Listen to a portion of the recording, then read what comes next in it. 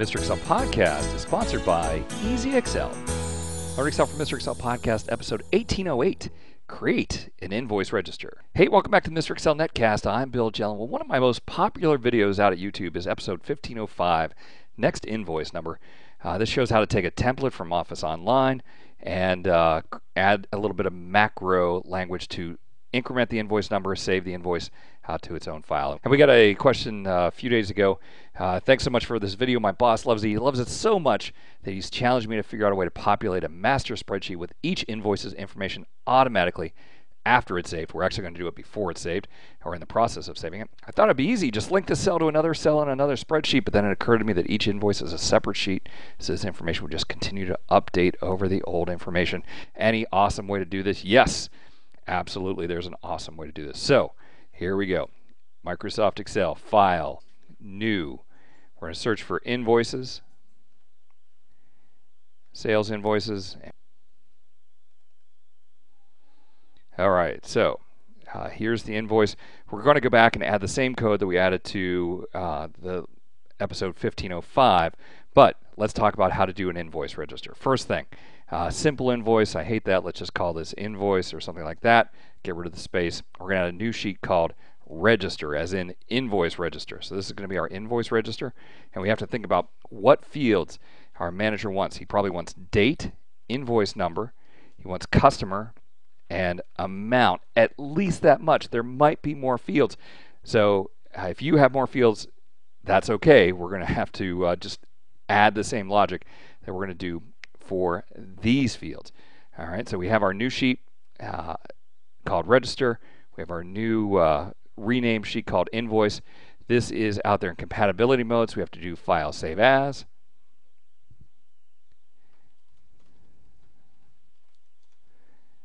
and it has to be a macro enabled workbook so make sure to change that and we're just going to call it uh, invoice program all right good. Now we're going to make a few notes here I have a notepad. You can't see the notepad. It's an actual physical post-it note uh, in my hand. I'm going to uh, know that invoice number is in cell C5 C5 is invoice number. The invoice date is in C4 the customer, I'm going to use cell A10. And let's see, the total. All right, now, maybe they're going to insert new lines, so I'm going to come here to this total cell, I'm going to just call it invoice total. In INVTOT, it has to be one word, no space. Uh, so the range name INVTOT is our total sales. So those are the four fields that we want to capture in the invoice register. All right, we're going to press Alt F11 to switch over to VBA. We'll do Insert Module. Good. And I'm going to add in the code from episode 1505. Hang on. Okay, so there you go. I actually just typed that code, uh, being careful that in the other video, uh, which you'll have to watch to get the explanation of this, it said to make sure to customize the cell that has the invoice number. In the old video, that was cell E5. In this particular template that I downloaded today, uh, it's C5. All right, so now we're going to add some new code up here. I'm going to call this sub uh, post to register. And we're going to dim WS1 as worksheet, dim WS2 as worksheet, set WS1 equal to worksheets. I call it invoice. If you can't remember that, it's right over here in the Project Explorer. And set WS2 equal to worksheets register. All right, those have to match. Now, first thing we're going to do, I'm going to add some comments here. Figure out which row is the next row. And then write the important values to register. All right, to figure out which row is the next row. Uh, first off, we have to make sure that we are using a field that will always be filled in, uh, no blanks. Uh, so probably date or invoice number are a really safe one to go. So date is in column A, that's column 1. All right, so next row is going to be equal to WS2 dot cells rows dot count comma 1. Right there, that 1. If your column A has a field that's not always filled in, like salutation or apartment number, don't use column 1. Use some other column that's always going to be filled in. Dot end XL, that's the letter L, up, dot row plus 1. All right, so this will tell us where we should write this invoice to. And I'm just going to test it. Um, so let's do a little message box here.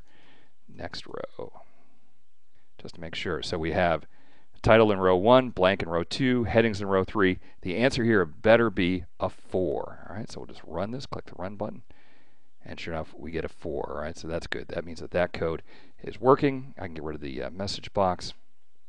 And then what we're going to do is we're going to say uh, WS2, that's our register worksheet, dot cells, next row, comma 1, dot resize, one row, four columns. Now, if you're collecting more information than the four columns that I'm collecting, which I'm sure you are, that number is going to be bigger than four. It's going to be five, six, seven, eight, nine, whatever it is.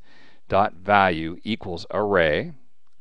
And then we're going to put the four values that we want. The four values, so in my case, it's date first. So that's ws1 dot range c4. I'm getting that from the notepad that I uh, wrote that down on. And then ws1 dot range c5 is the invoice number. And then we need the customer. The customer is coming from A10. So we're going to go off the screen here. I'm going to put the continuation character. That's a space and an underscore. And go down to the next line. ws1.range A10. And then finally, uh, the range called invoice total.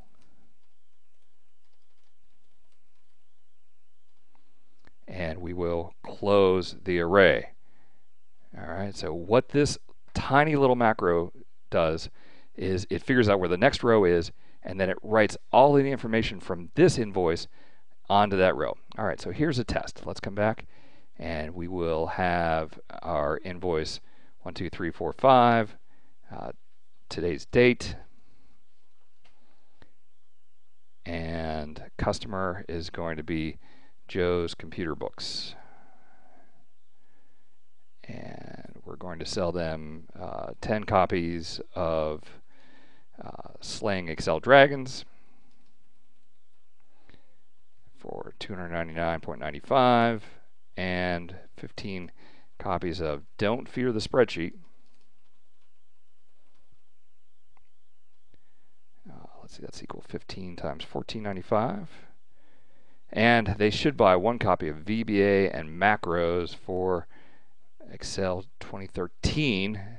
If you're watching this and you want to learn macros, that's a great book, $39.95. All right, we'll just scroll down here and see what our total is. Make sure that we've got it right, 564.15. All right, let's run our code. I'll come back here, click inside the macro, click run. And when I go look at the register, we should see that we have the date, the invoice, the customer, and the amount. All right, the date needs to be formatted as a date. All right, but it looks good. And if we would happen to run that macro again, which in real life we would never run it twice, uh, we're going to post a register. I'll go ahead and see it's going to the next row. That's awesome. Okay, so we take this code, uh, post register, and when do we want when do we want to run it? We have two macros already. Uh, save in save with new name that makes a copy of the workbook to a new place and then it calls next invoice. Well, right here, before we make that copy, that's when we want to post to register. Post to register. There we go. All right, so here's our old macro that was calling next invoice. Now it's going to call post to register. Uh, so we're going to write the things to the register. We're going to make a copy and save it, and then increment the invoice by one, and we will be all set to go. Um, so uh, if you're watching this video, you want to go back and uh, watch first uh, this video from a while ago, episode 1505, that will show you how to set up this code and explain this code, uh, and then to add the invoice register, uh, just add in this new tiny little macro here because I'm only collecting four cells. In real life, you certainly will be collecting more cells. Now, hey, I have to caution you Um, when I started to think about this, if you need to gather all of the items here, that really needs to be saved to a new sheet, like a line item detail register sheet or something like that. Don't try and put this on the register sheet. The register sheet just wants to have one line per invoice with your totals. Uh, if you need the line item details, then put that on a second sheet. You can join those back together using Power Pivot or a lot of VLOOKUPs. Your call. Well, hey, I want to thank you for stopping by. We'll see you next time for another netcast from Mr. Excel.